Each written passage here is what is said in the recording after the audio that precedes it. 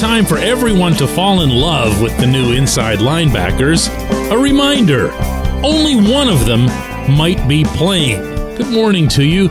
Good Thursday morning. I'm Dejan Kovacevic of DK Pittsburgh Sports. This is Daily Shot of Steelers. It comes your way bright and early every weekday. If you're into hockey and or baseball, I also offer daily shots of Penguins and Pirates where you found this.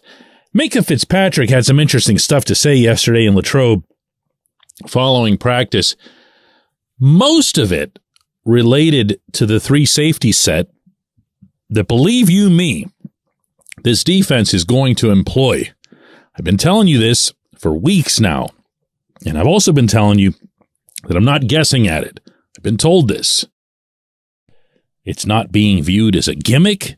It's not being viewed as a specific matchup type arrangement where you just use it against a specific opponent that presents certain challenges. No, no, this, it's not the base defense, but it's going to be a sub package within the defense as a whole and a legitimate one. They did not add Keanu Neal for nothing. Neal is that guy. Just as Damontae Kazee was the choice of management ahead of Terrell Edmunds because they felt he'd fit this scheme better.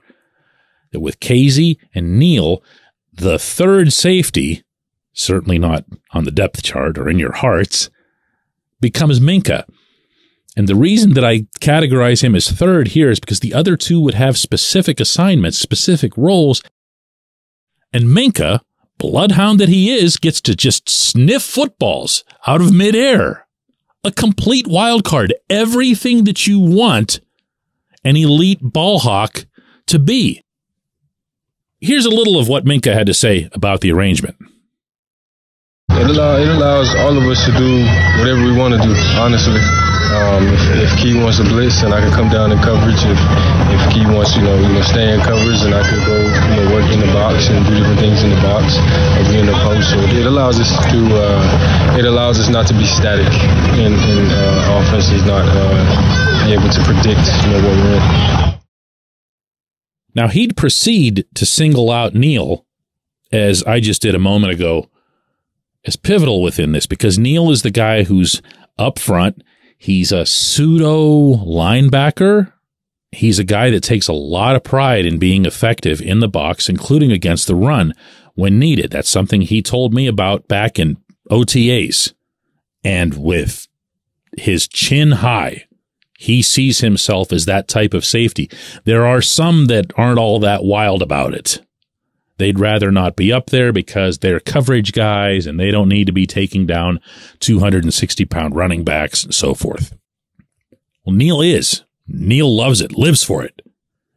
And that's going to be the role that he plays. And when he does, the individual coming off the field, you can put a real solid bet on this, is going to be one of those inside linebackers. So if you have a setting where either the three safety formation becomes very popular internally, or you do have a matchup where you would just want to use that a lot.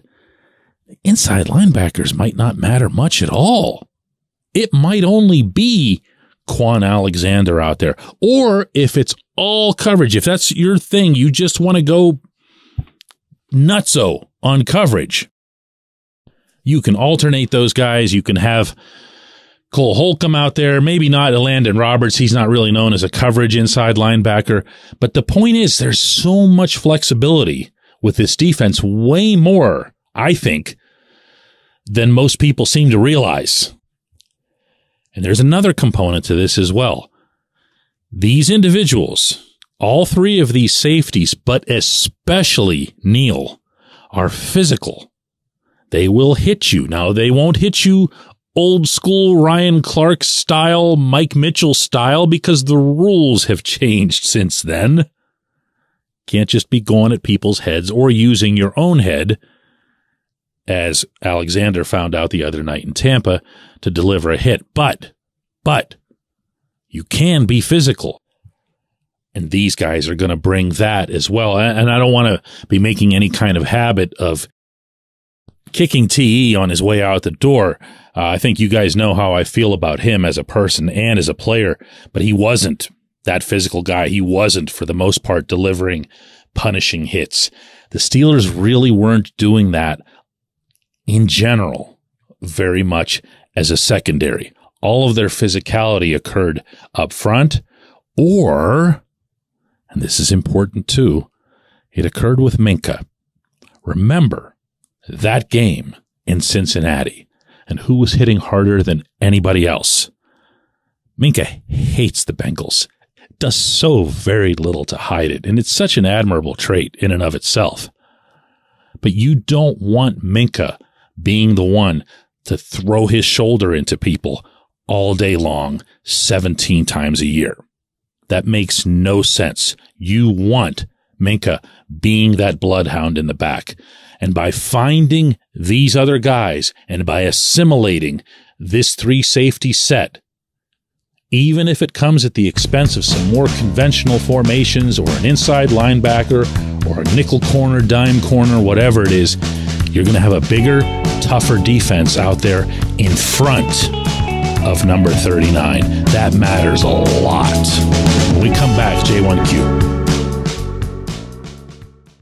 This segment of Daily Shot is brought to you by our good friends at Mike's Beer Bar. They're located on Federal Street, directly across from PNC Park. Mike has more than 500 beers on tap, including from more than 50 local breweries. Stop in and say hello. Tell Mike we sent you. Mike's Beer Bar.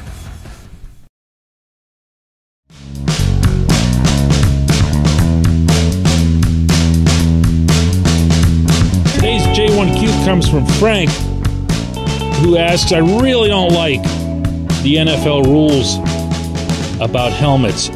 It's okay for a running back to lower his head, but what's the difference between that and a defensive player doing it?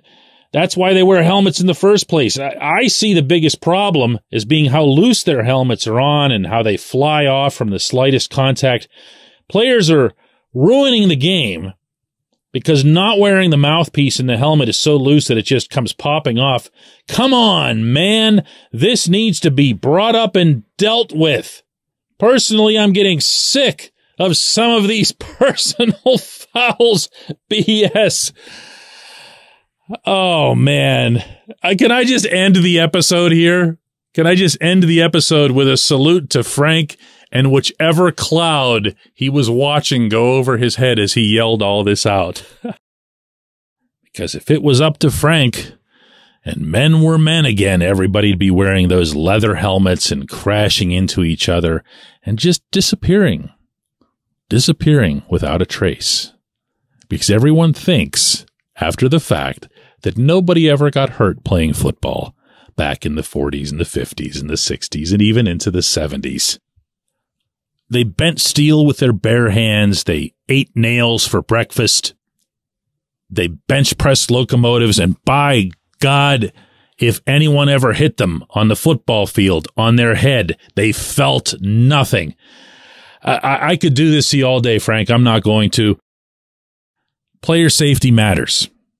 Hitting people with your head increases the likelihood of a serious injury.